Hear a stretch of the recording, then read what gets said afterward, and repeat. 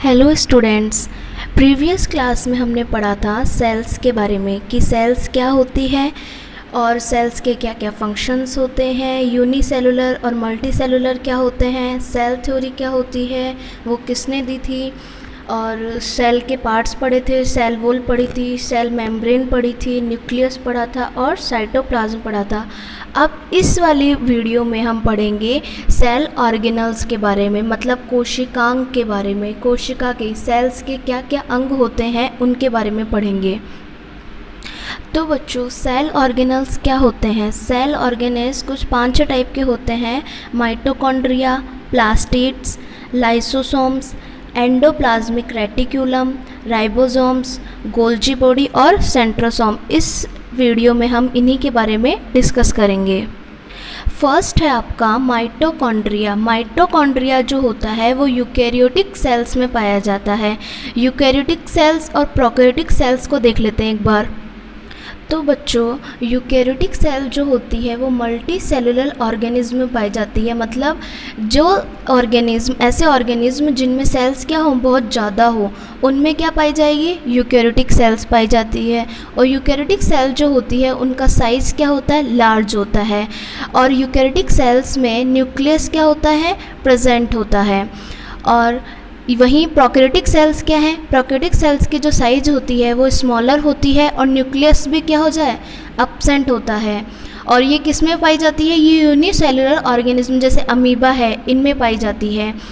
और eukaryotic cell जो होती है, वो किस किसमें प्रेजेंट होती है? माइटोकॉन्ड्रिया में लाइसोसोम्स ये सब क्या है? इनमें यूकैरियोटिक सेल्स पाई जाती हैं। Membrane bound nucleus is present और जो न्यूक्लियस होता है, वो मेम्ब्रेन बाउंड होता है मेम्ब्रेन से बाउंड होता है। वहीं प्रोक्यूटिक सेल्स में क्या होता है? मेम्ब्रेन बाउंड न्यूक्लियस नहीं पाया जाता है। अब हम पढ़ते हैं माइटोकॉन्ड्रिया के बारे में। माइटोकॉन्ड्रिया जो होता है, वो यूकैरियोटिक सेल्स में पाया जाता है। और माइटोकॉन्ड्रिया की खोज किसने की थी? कॉलिकर ने की थी। सबसे पहले ऑब्ज़र्व किसने किया था? कॉलिकर ने। 1880 में। और किसमें किया था? इंसेक्ट्स में किया था कि इंसेक्ट सेल्स जो होती है, उसमें माइटोकॉन्ड्रिया कैसा होता है? और ये जो वर्ड है माइटोकॉन्ड्रिया ये किसने दिया था? ये दिया था बेंडा ने। एक साइंटिस्ट थे बेंडा जिन्होंने सबसे पहले बताया था कि इसको क्या बोलते हैं? माइटोकॉन्ड्रिया बोलते हैं। अब हम देखते हैं कि ये किस तरह का होता है और इसका काम क्या होता है। तो it is a double membrane bound organelle इसकी क्या होती है? डबल मेम्ब्रेन होती है। एक इनर मेम्ब्रेन होती है और एक आउटर मेम्ब्रेन होती है। इसकी इनर मेम्ब्रेन तो क्या होगी? एकदम स्मूथ होगी और प्लेन होगी। वहीं इनर मेम्ब्रेन क्या होगी? फिंगर लाइक स्ट्रक्चर होगी। और इसका काम क्या होगा? एनर्जी जनरेट करना। सेल्स को जो भी एनर्जी चाहिए होती है, वो कहाँ से मिलती है? माइटोकॉन्ड्रिया से मिलती है। इसलिए इसको क्या बोलते हैं? पावर हाउस भी बोलते हैं, बिजली घर भी बोलते हैं सेल्स का। It perform the function of generating energy required by the cell cells को जितनी भी एनर्जी चाहिए होती है, वो कहाँ से मिलती है? उसको माइटोकॉन्ड्रिया से मिलती है। इसलिए माइटोकॉन्ड्रिया को power house of the cell भी कहा जाता है। और ये किस काम के लिए रेस्पॉन्सिबल होता है?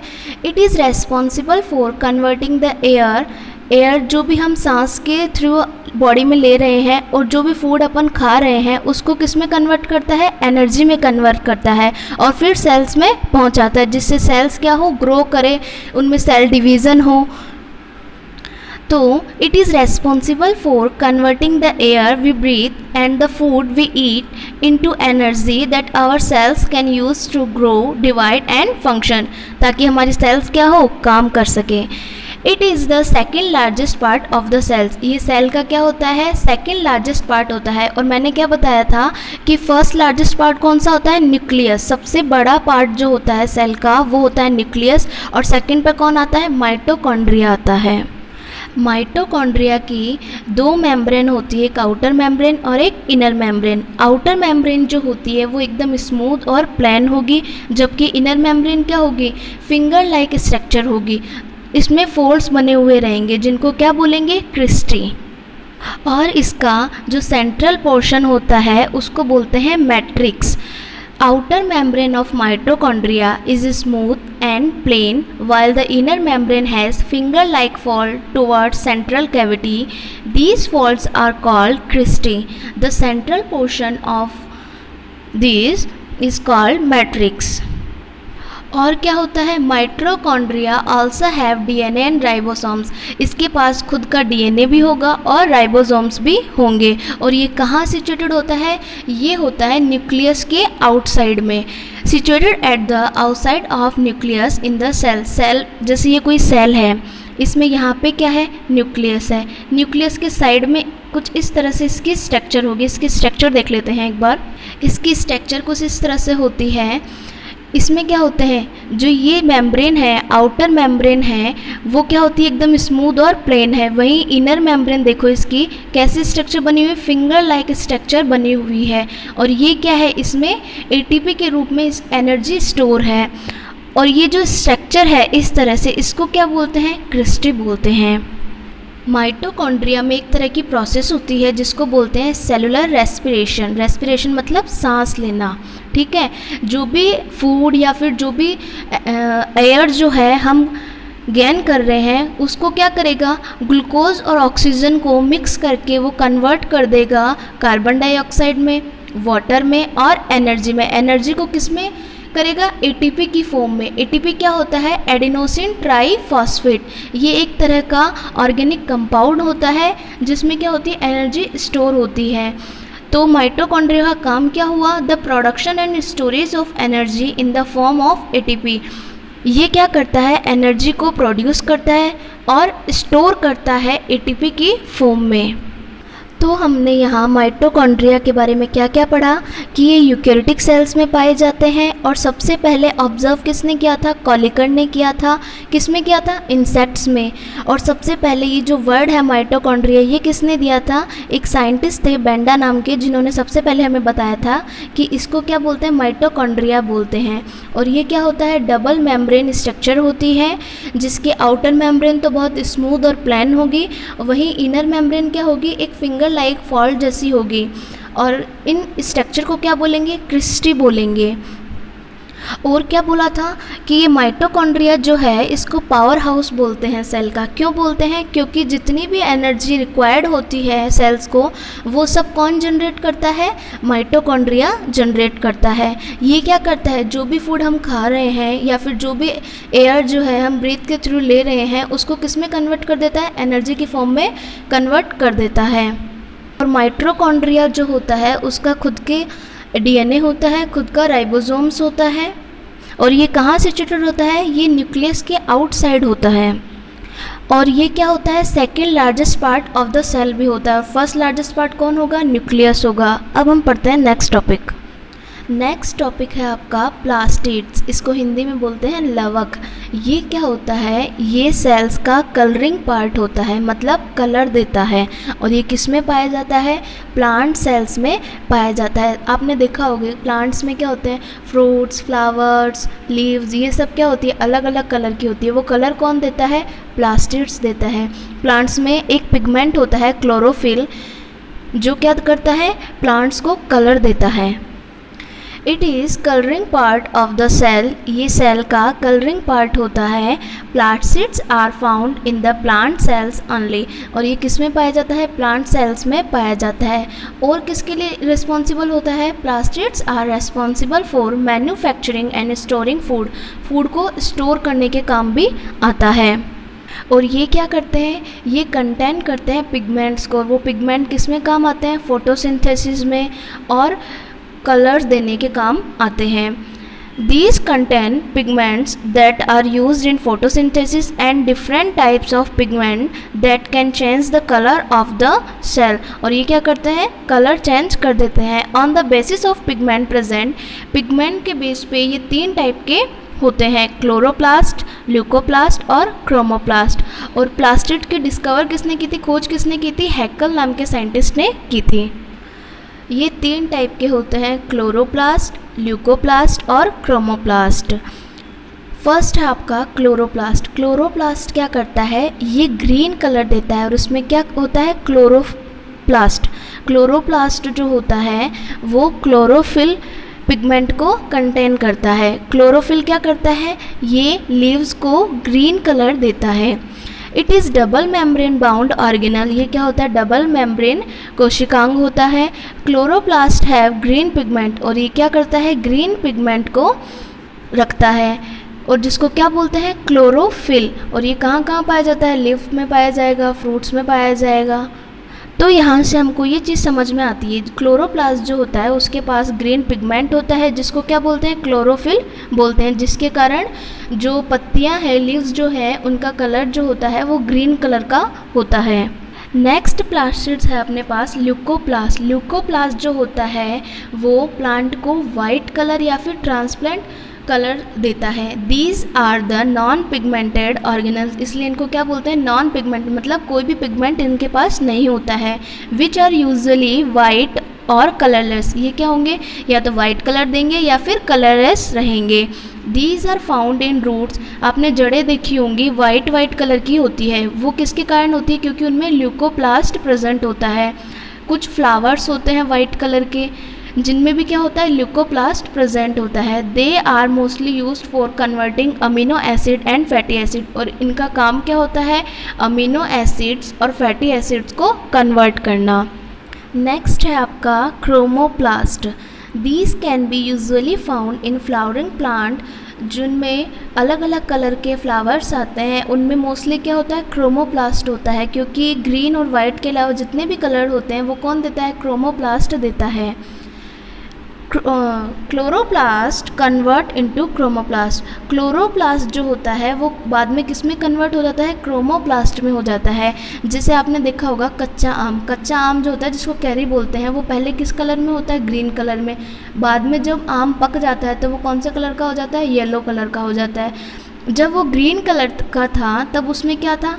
क्लोरोप्लास्ट था। अब येलो कलर में हो गया तो अब इसमें कौन सा पिगमेंट प्रेजेंट है? क्रोमोप्लास्ट तो इस तरह हम ये भी बोल सकते हैं कि क्लोरोप्लास्ट जो होता है, वो किसमें कन्वर्ट हो जाता है? क्रोमोप्लास्ट में कन्वर्ट हो जाता है। दीज आर कैरोटिनॉइड पिगमेंट इनमें क्या होता है? कैरोटिन प्रेजेंट होता है। दैट अलाउ किसको अलाउ करता है? वो डिफरेंट कलर्स फ्लावर या फिर उनकी जो लीव्स हैं, उनमें अलग अलग कलर्स देने का काम करता है। We see in leaves flowers and fruits हम इनको किन किन में देख सकते हैं? लीव्स में फ्लावर्स में और फ्रूट्स में। अच्छा यहाँ पे एक इम्पोर्टेंट चीज़ याद रखनी है कि ह्यूमंस जो होते हैं, उनमें भी एक पिगमेंट पाया जाता है, जिसको क्या बोलते हैं? मेलानिन बोलते हैं। क्या बोलते हैं? मेलानिन ये क्या करता है? हमारी स्किन को कलर देता है। हम मोस्टली आपने देखा होगा स्किन का कलर क्या होता है? थोड़ा सा ब्राउनिश होता है। वो कौन देता है? मेलानिन पिगमेंट देता है।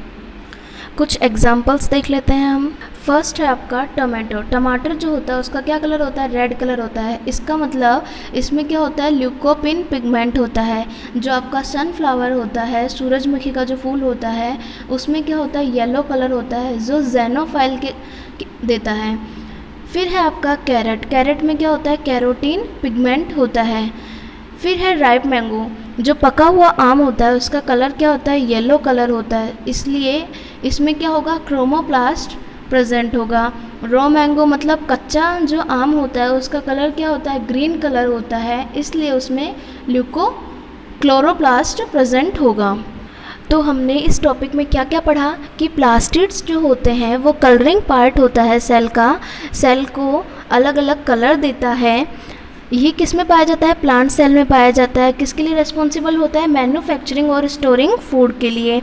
और ये बहुत सारे पिगमेंट को कंटेन करता है। इनमें तीन टाइप के पिगमेंट हैं। क्लोरोप्लास्ट ल्यूकोप्लास्ट और क्रोमोप्लास्ट क्लोरोप्लास्ट जो होता है, वो प्लांट को ग्रीन कलर देता है।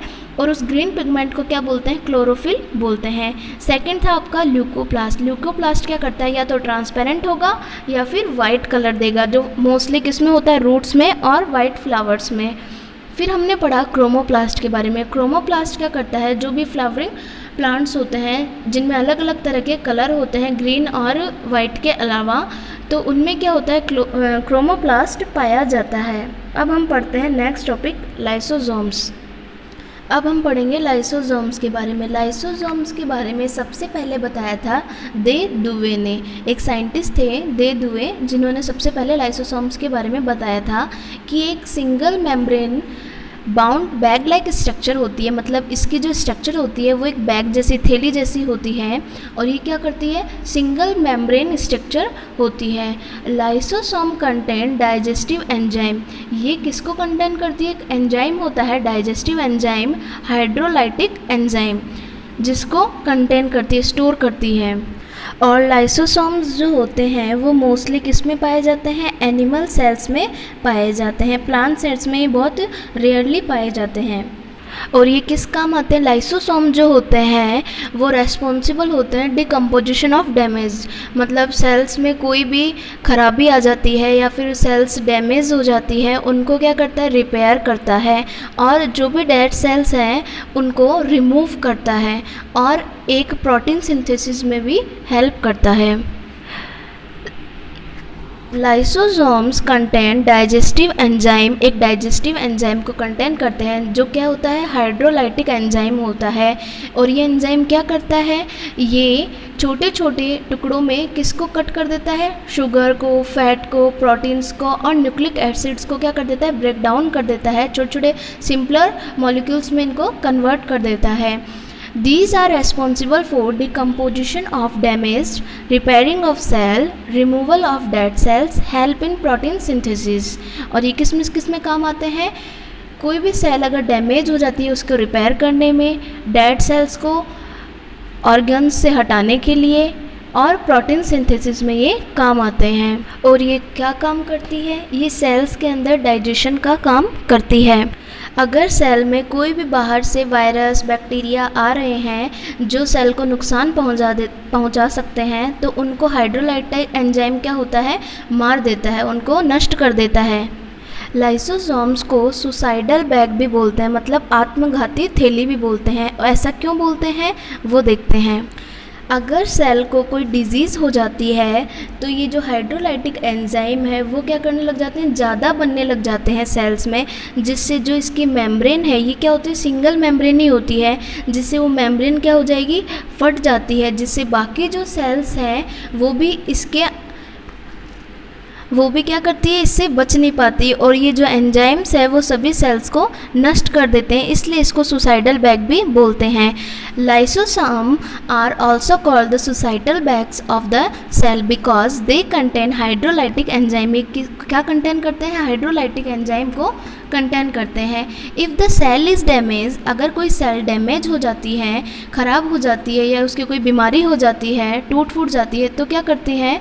The lysosome undergo autolysis and burst open क्या करती है? ये खुद रिपेयर करना स्टार्ट कर देती है।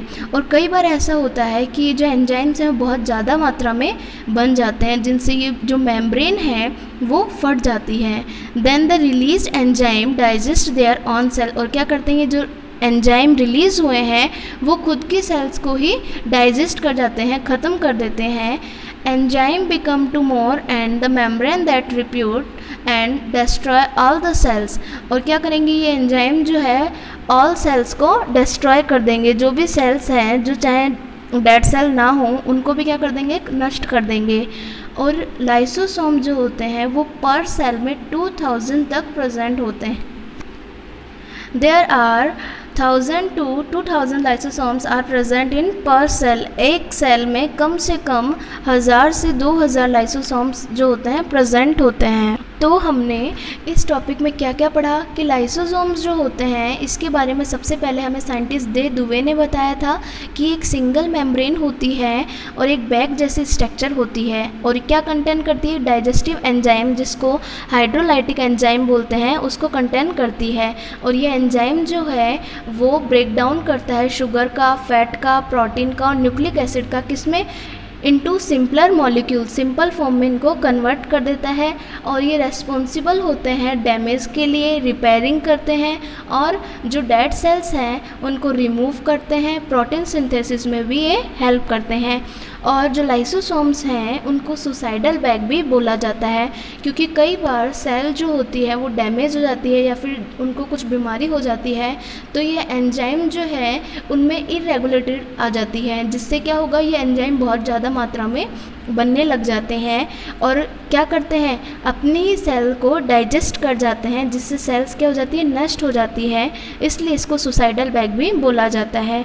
और ये एक सेल में thousand to two thousand lysosomes present होते हैं। नेक्स्ट है आपका एंडोप्लाज्मिक रेटिक्यूलम एंडोप्लाज्मिक रेटिकुलम जो होता है, एक मेम्ब्रेन का नेटवर्क होता है मेम्ब्रेन होती है इसमें, और ये कहाँ प्रेजेंट होता है? ये न्यूक्लियस मेम्ब्रेन और सेल मेम्ब्रेन के बीच में प्रेजेंट होता है, और ई e आर मतलब एंडोप्लाज्मिक रेटिकुलम को सबसे पहले किसने बताया था? गार्नियर ने बताया था।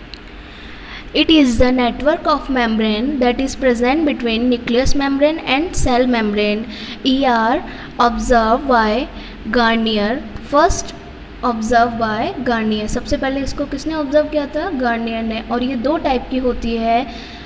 रफ एंडोप्लाज्मिक रेटिकुलम और स्मूथ एंडी प्लाज्मिक रेटिकुलम तो फ़र्स्ट है आपका रफ एंडोप्लाज्मिक रेटिकुलम ये कहाँ लोकेटेड होती है? ये न्यूक्लियस मेम्ब्रेन के पास स्थित होती है। It is located near by nucleus membrane ये न्यूक्लियस मेम्ब्रेन के पास पाई जाती है और इसमें क्या होते हैं?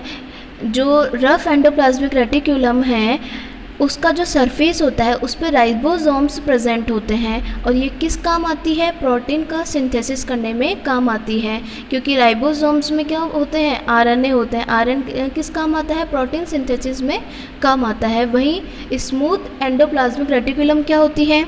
ये सेल मेम्ब्रेन के पास लोकेटेड होती है। जो सेल मेम्ब्रेन होती है सेल की जो मेम्ब्रेन होती है, उसके पास ही स्थित होती है और उसमें राइबोसोम्स प्रेजेंट नहीं होते हैं और ये फैट्स और लिपिड्स का सिंथेसिस करने में काम आती है। क्या करती है?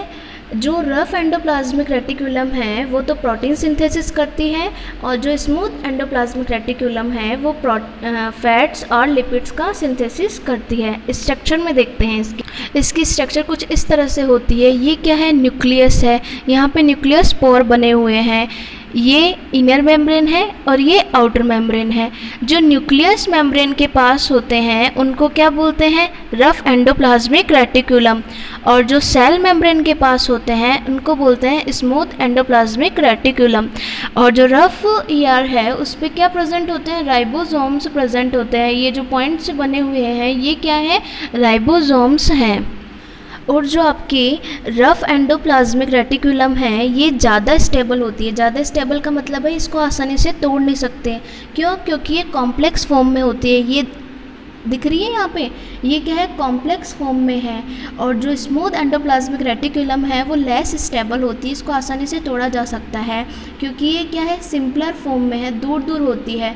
और रफ़ जो एंडोप्लाज्मिक रेटिकुलम है, वो पास पास होती है। कॉम्प्लेक्स फॉर्म में होती है। इसलिए ये ज़्यादा स्टेबल होती rough endoplasmic reticulum is more stable because these are in complex form क्योंकि ये कॉम्प्लेक्स फॉर्म में होती हैं। और smooth endoplasmic reticulum is less stable because they are in simple form क्योंकि ये सिंपल फॉर्म में होती है।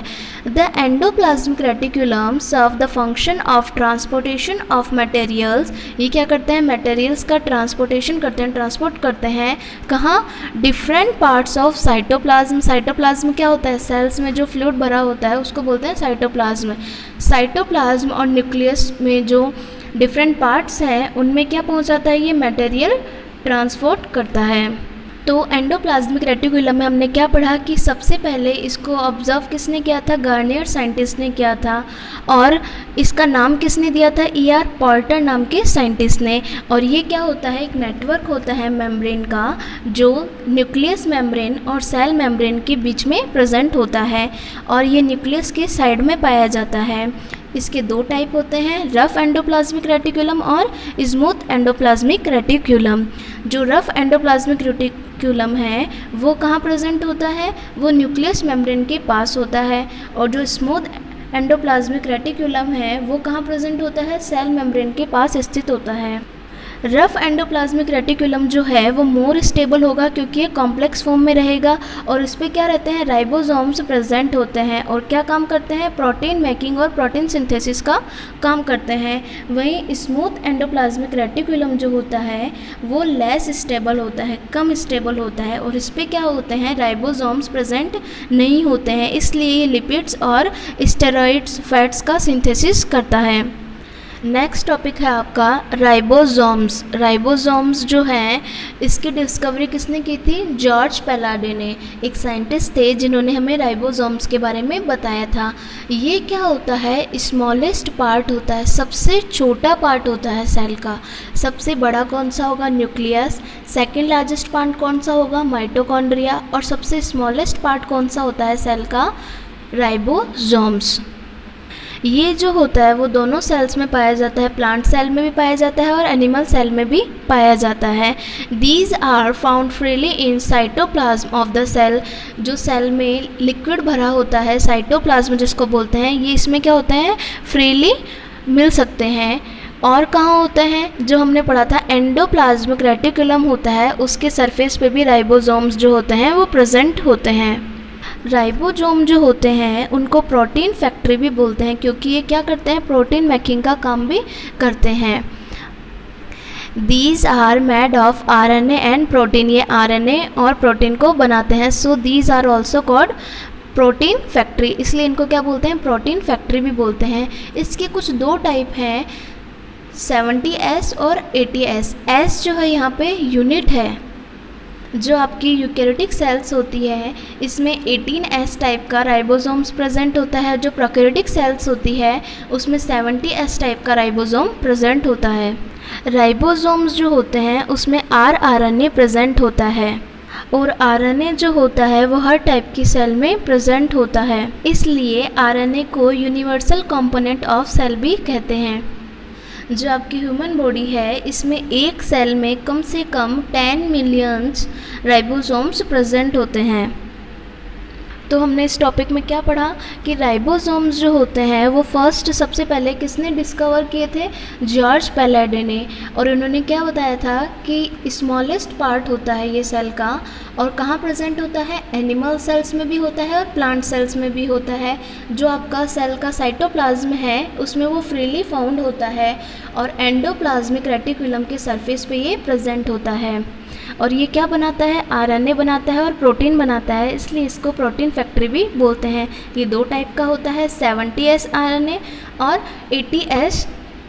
यूकेरेटिक सेल्स जो होती हैं, उसमें एटी एस राइबोसोम्स पाए जाते हैं और जो प्रोक्रेटिक सेल्स होती है, उसमें सेवेंटी एस टाइप के राइबोसोम्स पाए जाते हैं। नेक्स्ट है आपका गोल्जी बॉडी। गोल्जी बॉडी के बारे में सबसे पहले कैमिलियो गोल्जी ने बताया था। एक साइंटिस्ट थे कैमिलियो गोल्जी, जिनके नाम से इसका नाम क्या पड़ा है? Golgi body. इन्होंने सबसे पहले बताया था कि एक ऐसी स्ट्रक्चर है सेल में जो न्यूक्लियस के पास पाई जाती है और जो क्या होती है? फ्लैट डिस्क और ट्यूबल्स शेप में होती है। ट्यूब जैसी शेप होती है। ठीक है? और ये कहाँ प्रेजेंट होती है? दोनों सेल्स में प्रेजेंट होती है एनिमल सेल में भी और प्लांट सेल में भी। और ये क्या काम करती है? ये शुगर प्रोटीन और जो भी ऑर्गेनिक कंपाउंड है, उनका सिंथेसिस करने में और सेक्रेशन करने में ये काम आती है।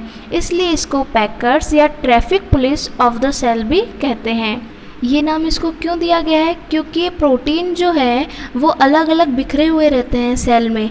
ठीक है? तो इसका, ये क्या करती है? प्रोटीन को अलग अलग छांटती है, जो ऑर्गेनिक कंपाउंड है, इनको अलग अलग इकट्ठा करती है और फिर क्या करती है? पैकिंग करती है प्रोटीन्स की और ऑर्गेनिक कंपाउंड की। इसलिए इनको पैकर्स कहा गया है। ट्रैफ़िक पुलिस क्यों कहा गया है? क्योंकि जो भी आर हैं ठीक है? जो भी आर एन ए है, प्रोटीन है, वो सेल्स में बिखरे हुए रहते हैं, उनको क्या करती है? अलग अलग इकट्ठे करती है ताकि वो सेल के काम आ सके। इसलिए इसको ट्रैफ़िक पुलिस भी कहा जाता है। तो गोल्जी बॉडी की स्ट्रक्चर जो होती है, वो इस तरह से होती है। ट्यूब जैसी स्ट्रक्चर होती है, जो क्या काम करती है?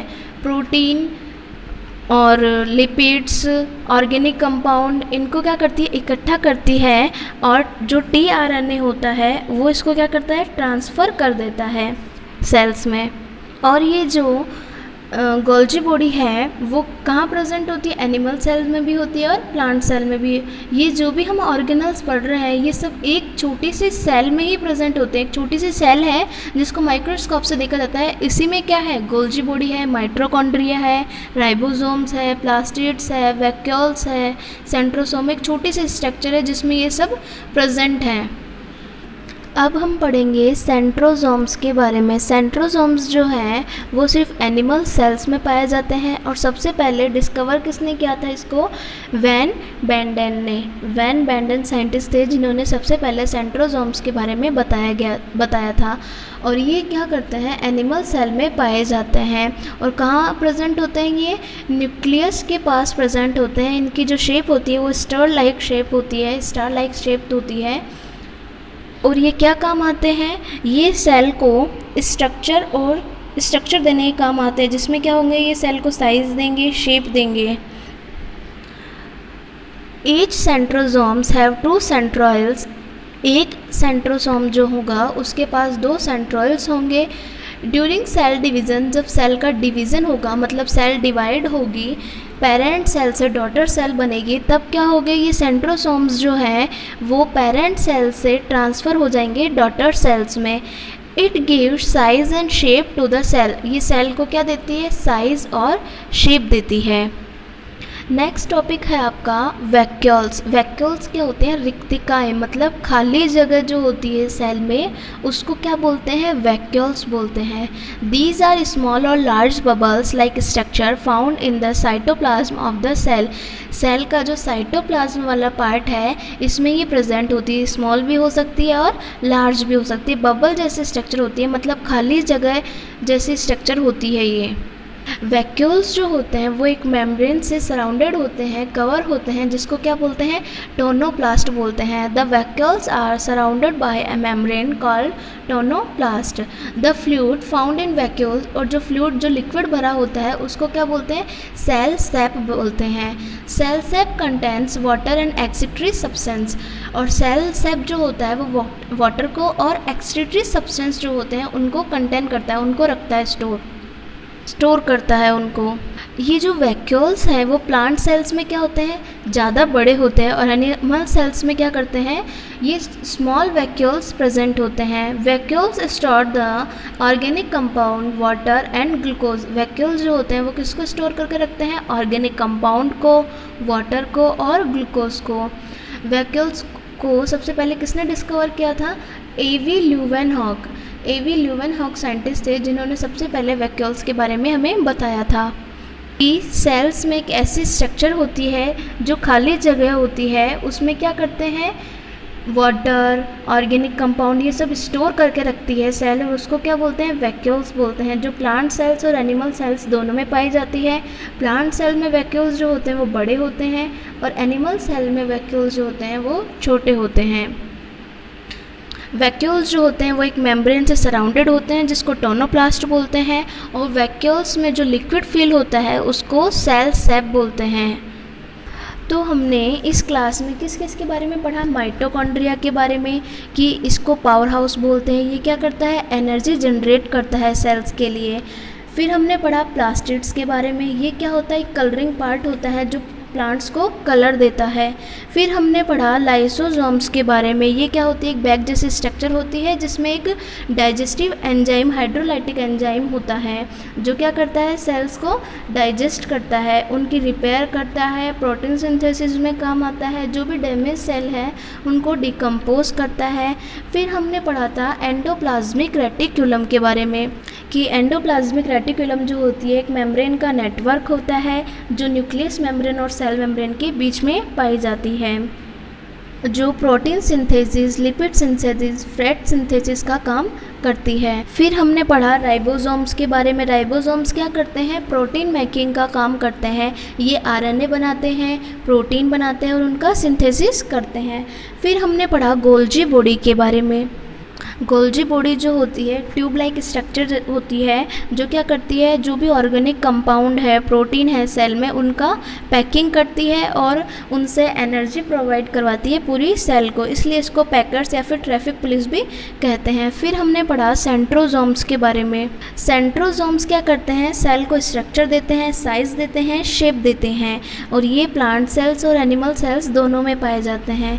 फिर हमने पढ़ा वैक्यूल्स के बारे में कि वैक्यूल्स जो होते हैं बबल जैसे स्ट्रक्चर होती है, खाली जगह होती है सेल में, जो क्या कंटेन करती है? वाटर और एग्जिक्ट्री सब्सटेंस को कंटेन करती है ग्लूकोज को कंटेन करती है और ये एक मेम्ब्रेन से कवर होती है, जिसको टोनोप्लास्ट बोलते हैं। इसमें एक लिक्विड भरा होता है, जिसको सेल सेप बोलते हैं और ये दोनों में पाई जाती है प्लांट सेल्स में भी और एनिमल सेल्स में भी।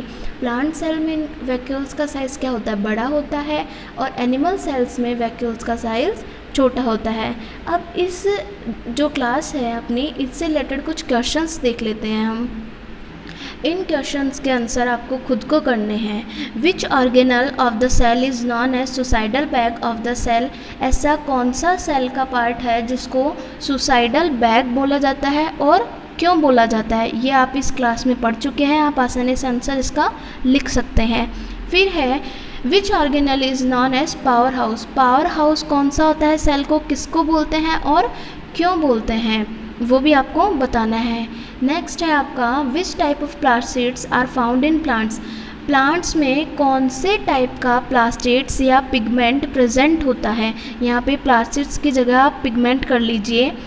प्ला जो प्लांट्स हैं, उनमें कौन सा पिगमेंट प्रेजेंट होता है? नेक्स्ट है आपका what is the function of ribosomes ribosomes के फ़ंक्शंस क्या होते हैं? वो किस काम आता है? वो आपको अच्छे से एक्सप्लेन करके लिखना है। नेक्स्ट है आपका explain the structure and function of mitochondria mitochondria जो है, उसकी स्ट्रक्चर बतानी है और उसके फ़ंक्शंस बताने की वो किस काम आता है? माइटोकॉन्ड्रिया क्या होता है? कहाँ पाया जाता है? ये सब डिटेल उसके बारे में आपको लिखनी है। नेक्स्ट आपका है explain endoplasmic reticulum endoplasmic reticulum हमने पढ़ाया था, इसके टाइप्स बताने हैं, इसकी स्ट्रक्चर बतानी है और ये किस काम में आता है, इसके फ़ंक्शंस लिखने हैं आपको। अब हम पढ़ेंगे difference between plant cell and animal cell जो भी हमने ऑर्गेनल्स पढ़े हैं सेल के सेल के जो भी पार्ट पढ़े हैं, हमने माइट्रोकॉन्ड्रिया हो वैक्यूल्स हो, उनकी साइज़ से रिलेटेड कुछ हो, उनके बेस पे हम प्लांट सेल और एनिमल सेल में डिफरेंस करेंगे। तो साइज़ के बेस पे प्लांट सेल क्या होती है? लार्जर होती है। प्लांट सेल की जो साइज़ होती है वो ज़्यादा होती है और एनिमल सेल जो होती है उसकी साइज़ जो होती है स्मॉलर होती है। तो साइज़ के बेस पे क्या डिफरेंस हुआ? जो प्लांट सेल है वो लार्जर होगी और जो एनिमल सेल है वो स्मॉलर होगी। नेक्स्ट है आपका शेप शेप क्या होती है? इसकी रेक्टेंगल होती है और इसकी राउंड शेप होती है। ये रेगुलर शेप होती है। मतलब ये हमेशा इसी शेप में पाई जाती है और एनिमल सेल जो होती है इरेगुलर होती है। मतलब ज़रूरी नहीं है ये हमेशा राउंड शेप में हो। फिर आपने पढ़ा सेल वॉल के बारे में। सेल वॉल जो होती है, वो प्लांट सेल में प्रेजेंट होती है, इसलिए सेल वॉल जो है, उसकी आउटर मेम्ब्रेन होती है प्लांट सेल की, लेकिन एनिमल सेल में ये अपसेंट होती है। इसलिए आउटर मेम्ब्रेन जो होती है, वो प्लाज्मा मेम्ब्रेन होती है एनिमल सेल की। फिर हमने पढ़ा न्यूक्लियस के बारे में। प्लांट सेल जो होती है, उसमें न्यूक्लियस जो होता है, वो बड़ा होता है और एनिमल सेल में न्यूक्लियस छोटा होता है। फिर हमने पढ़ा वैक्यूल्स के बारे में कि कोई स्पेस होता है खाली, जो प्लांट सेल में क्या होता है? ज़्यादा होता है, लार्जर होता है साइज़ और एनिमल सेल में क्या होता है? स्मॉलर साइज़ में वैक्यूल्स प्रेजेंट होते हैं। फिर हमने पढ़ा प्लास्टिड्स के बारे प्लास्टिड्स जो होते हैं, वो सिर्फ़ प्लांट सेल में पाए जाते हैं क्योंकि ये कलरिंग पार्ट होता है। इसलिए प्लांट सेल में ये प्रेजेंट होते हैं और एनिमल सेल में ये अपसेंट होते हैं। फिर स्टोर फ़ूड फ़ूड स्टोरेज के हिसाब से ये किस फॉर्म में होते हैं, वो देखते हैं। जो प्लांट सेल है, वो अपना खाना किस रूप में स्टोर करती है? स्टार्च की फॉर्म में ये अपना खाना स्टोर करके रखती है। और जो एनिमल सेल है वो अपना फ़ूड ग्लाइकोजन की फॉर्म में स्टोर करके रखती है। तो एक ये डिफरेंस हो गया कि जो प्लांट सेल है, वो अपना खाना स्टार्च की फॉर्म में स्टोर करती है और जो एनिमल सेल है, वो अपना खाना ग्लाइकोजन की फॉर्म में स्टोर करती है। फिर हमने पढ़ा लाइसोसोम्स के बारे में कि एक बैग जैसी स्ट्रक्चर होती है, जिसमें डाइजेस्टिव एंजाइम होता है। तो ये प्लांट सेल में बहुत कम प्रेजेंट होती है कभी कभी दिखाई देती है। लेकिन ये जो एनिमल सेल है उसमें हमेशा ये प्रेजेंट होती हैं। फिर इसके टाइप देख लेते हैं कि प्लांट सेल जो होती है वो ऑटोट्रॉप्स होती है। ऑटोट्रॉप्स क्या होता है? ऑटोट्रॉप्स होता है जो अपना खाना खुद बनाते हैं। तो प्लांट्स क्या करते हैं? फोटोसिंथेसिस प्रोसेस के थ्रू अपना खाना जो है वो खुद बनाते हैं। इसलिए ये प्लांट सेल जो होती है वो ऑटोट्रॉप्स होती है और एनिमल सेल जो होती है हेट्रोट्रॉप्स होती है मतलब विषम पोषी ये दूसरों पर डिपेंड रहती है। ये खाना बाहर से कभी कभी बाहर से भी ले लेती है और कभी खुद भी बना लेती है। तो इसको क्या बोलते हैं? हेटोट्रॉप्स बोलते हैं। तो ये टेन बेस थे इसके कि टेन चीज़ें ऐसी हैं, दस चीज़ें ऐसी हैं जिनके जिनसे हम क्या कर सकते हैं? प्लांट सेल और एनिमल सेल में डिफरेंस कर सकते हैं। साइज़ के बेस पे शेप के बेस पे सेल वोल के बेस पे आउटर मेम्ब्रेन के बेस पे न्यूक्लियस के बेस पे वैक्यूल्स के बेस पे प्लास्टिड्स के बेस पे फ़ूड स्टोरिंग के बेस पे लाइसोसोम्स और इसके टाइप के बेस पे हम प्लांट सेल और एनिमल सेल में डिफरेंस कर सकते हैं। Thank you have a nice day